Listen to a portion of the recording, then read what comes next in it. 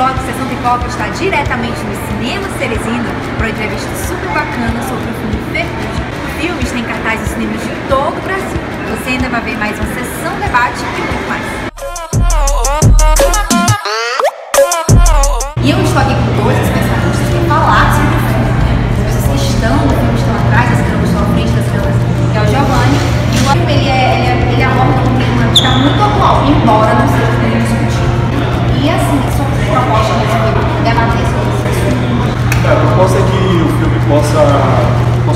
possa provocar conversas e debates entre pais e filhos, professores e alunos. O filme ele fala de uma série de questões que são muito importantes, são muito contemporâneas. Uma delas é o cyberbullying, essa coisa de ficar é, provocando, tirando sarro, eventualmente provocando dor psicológica no outro.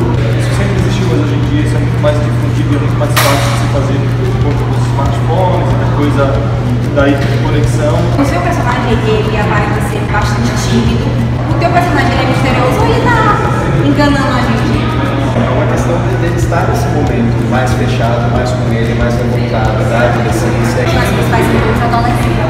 Você acha que os pais vão conseguir pegar essa questão para eles, não só os adolescentes? Eu acho que o filme ele é claro em seus discursos, ele apresenta os dramas vividos pelos adolescentes no mundo contemporâneo, mas também as dificuldades enfrentadas pelos pais não saberem lidar com os filhos hiperconectados.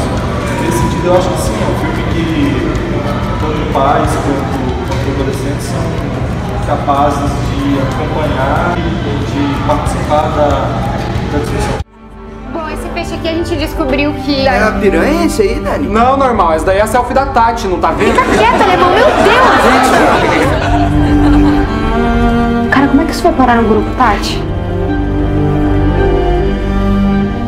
Foi você, não foi? Que é? Você ficou com inveja, com ciúme?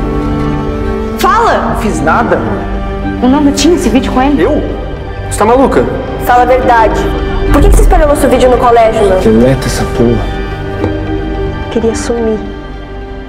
Piauienses, é um prazer receber vocês no cinema para assistir Ferrugem. Estamos aqui no, no Cinema de Teresina, cartaz, em três horários diferentes.